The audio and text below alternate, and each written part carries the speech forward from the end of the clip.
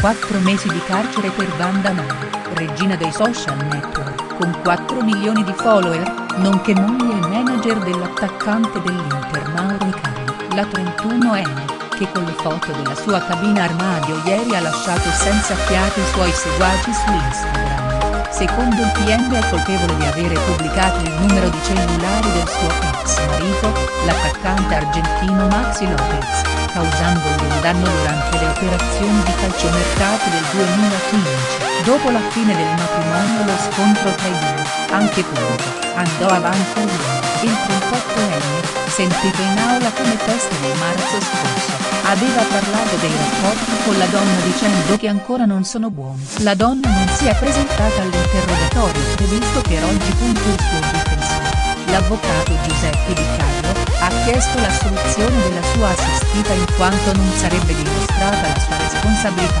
Non c'è la prova che sia stata lei l'autrice dei post sui social network, ha sottolineato il difensore Mino Nemmeno che abbia creato un danno al calciatore, al documento legale di Lopez, che si è costituito parte civile, invece chiesto la condanna di Nara e si è rimesso al giudice per la decisione sull'eventuale risarcimento del danno. L'udienza è stata aggiornata al prossimo 29 ottobre per la lettura della sentenza.